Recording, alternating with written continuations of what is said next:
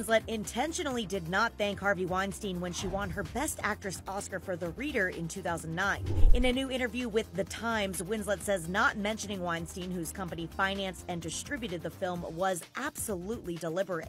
Quote, I remember being told, make sure you thank Harvey if you win.